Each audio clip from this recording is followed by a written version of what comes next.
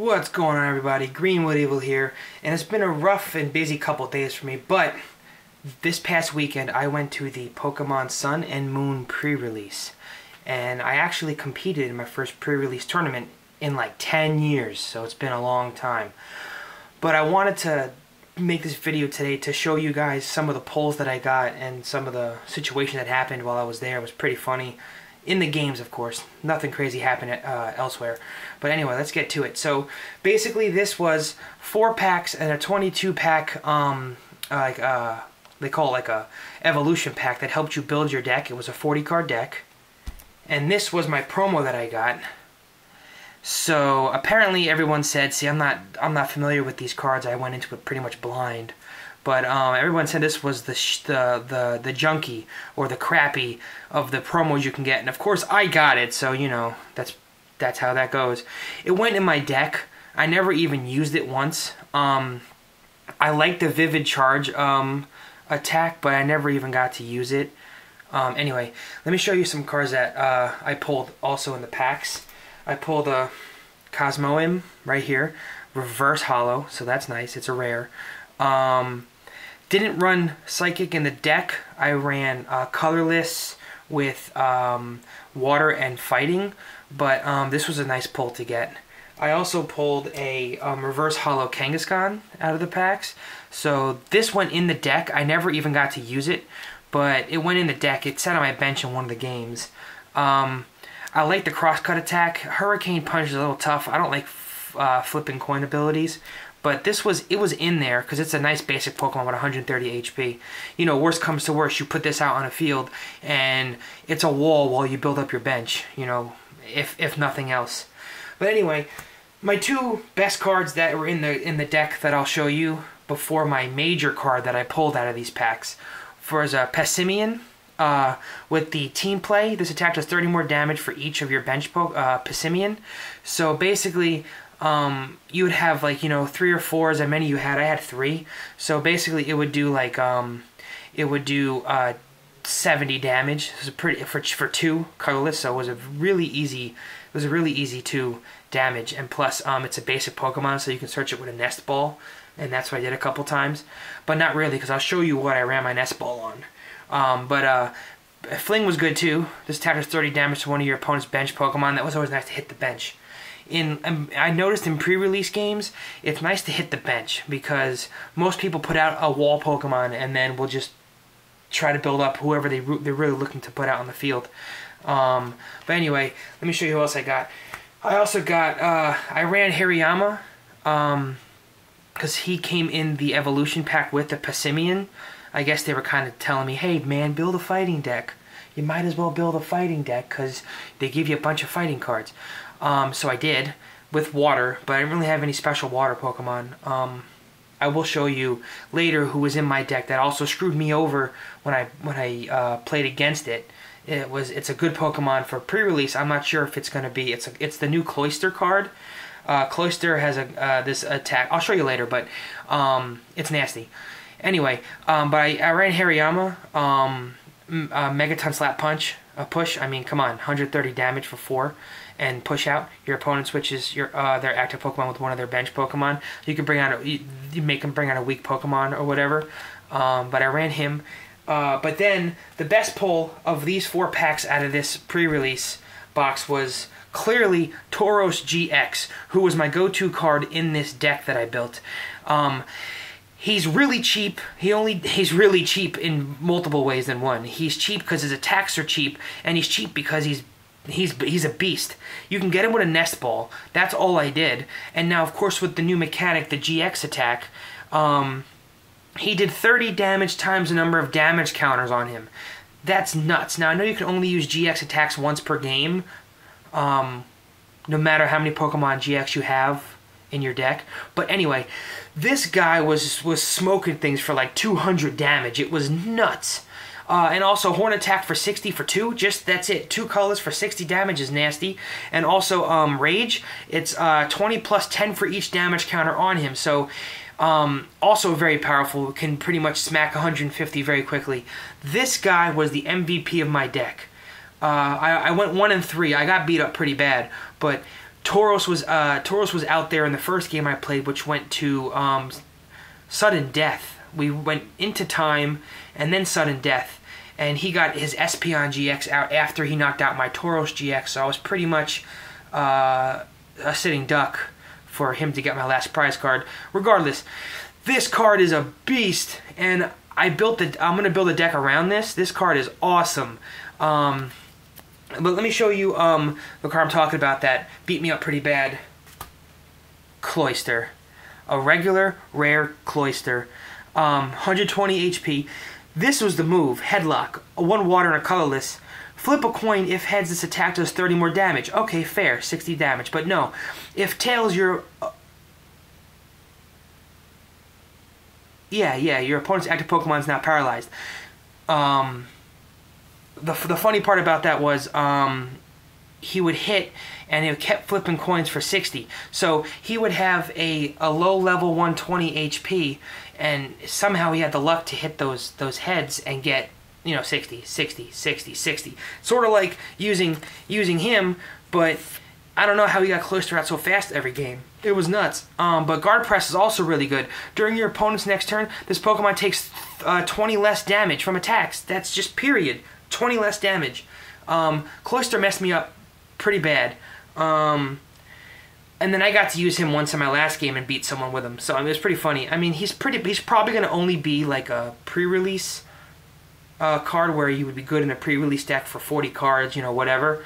Um, but he was fun to use, and but it was a pain in the butt to um, pain in the butt for me to get dealt with that.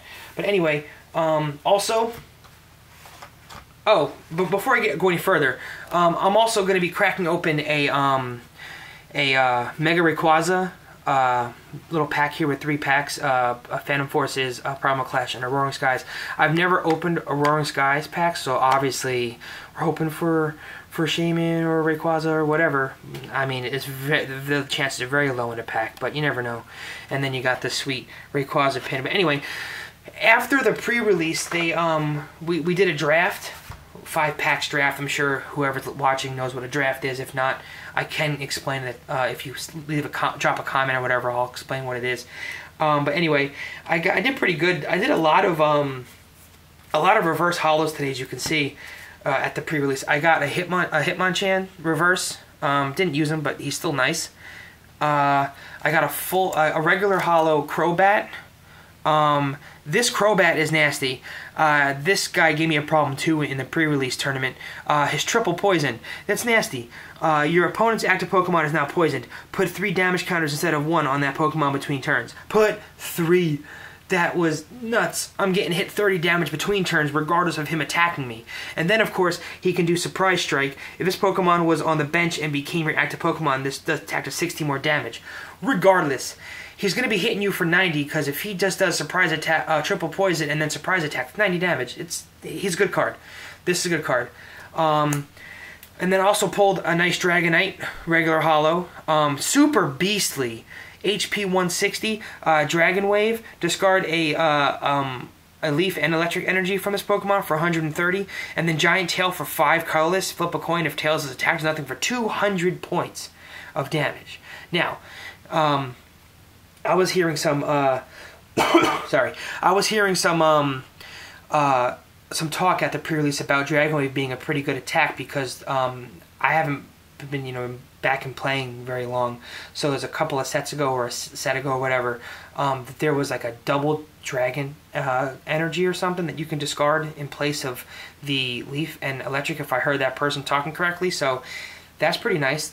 Uh, uh, very cheap, 130 damage of course, you know, I could be hearing things and they could be wrong or whatever. But um, anyway, um, and then my big pull from the uh, the draft was a Decidueye GX.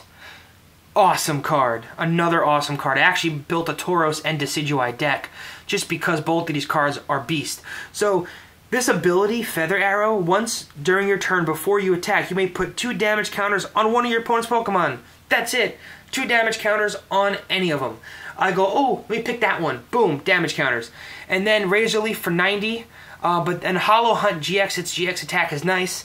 Um, put three cards from your discard pile back into your hand. It doesn't say specifically what kind of cards. So any three cards you want out of your uh, discard pile back to your hand. Excellent, excellent card. Um, used it once in the in the draft uh, tournament, and it was awesome. Uh, but then also, after the fact, after the draft, I pulled. Not I didn't pull. I traded for a Decidueye uh, reverse hollow, which was, was pretty cool. Put in the deck, so all my Decidueyes are hollow. And then, boom, another Tauros. We have two Tauroses in our deck now. Oh, we're seeing double. Tauros is a monster. I don't know if he's going to be, you know, like a beast. Like I saw him be. You hit you hit him, he hits harder because he has more damage counters on him. He's a beast. He might be one of the better cards in the deck. I think so. Um, in the set, excuse me. I think so.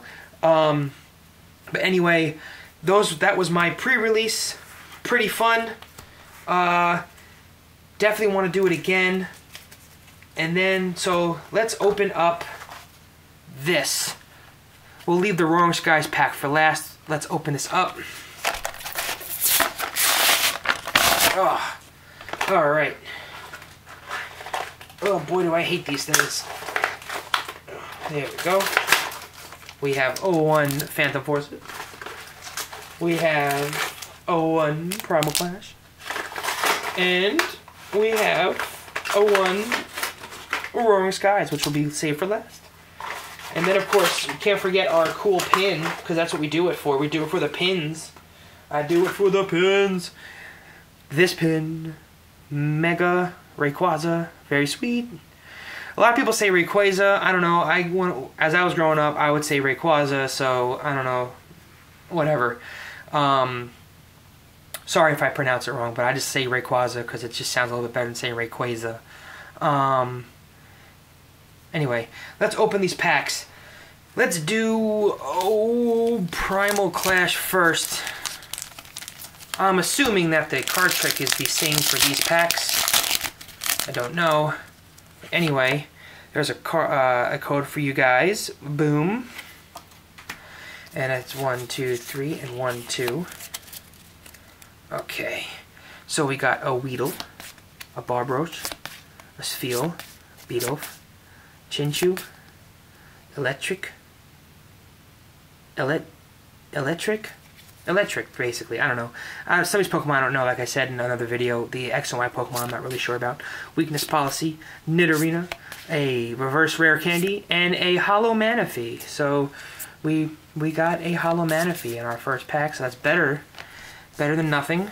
We'll leave our Manaphy right there. Uh, reverse Reverse Rare Candy is nice too. Let's just put that down. Might as well, right? Phantom Forces. One pack of Phantom Forces. Not looking, not expecting much. Just wanted to give you guys a video and talk about the pre-release because it was fun, fun, fun. Code for you guys. Do the do the whole thing there. All right. Uh, a Yanma, a Poochyena, a Swirlix, Whismur. Oh, we got something. I'm just gonna go right to it. I'm sorry. Just gonna go right to it. Oh, that's nice. A Mega Manectric.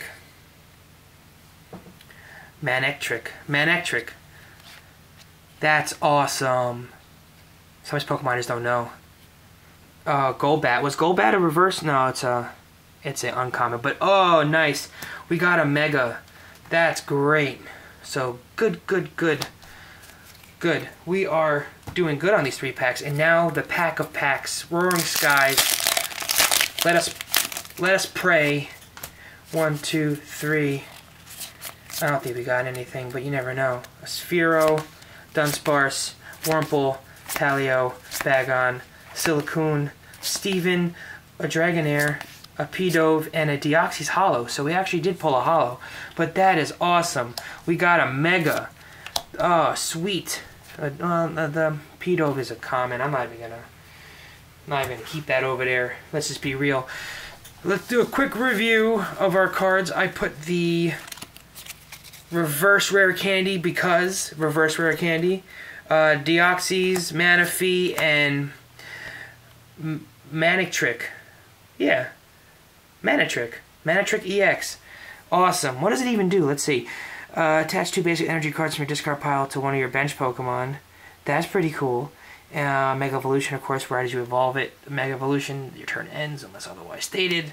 But anyway, guys, that was pretty much it.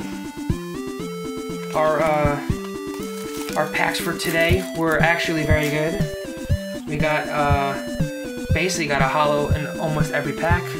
Did very nice. Uh, of course, don't forget. I'm saying it now. I'm calling it. I'm calling it now. Tauros GX is a monster. Tauros GX is a monster, and he is awesome to use. And he's actually kind of cheap on the retreat too. Three, not too bad, especially if you run a double colorless energy on him. Can you imagine that? First turn, Tauros GX on the field, boom, double colorless energy. I can smack for 60 first turn. What? It's insane. It's it, it's just crazy. This card is awesome. This is gonna be something. I can't wait for February 3rd. I'm gonna buy. Oh, I'm gonna buy a box on February 3rd and do a video for you guys. So, uh, you know, like, subscribe down below or over here, and I'm gonna put some videos on the side here you can click on. Um, but yeah, I'm excited for uh, Sun and Moon. It looks excellent. It looks excellent, excellent. Uh, maybe one day I may build a, this Dragonite deck. I don't know. We'll see. But anyway, guys, take it easy. Peace.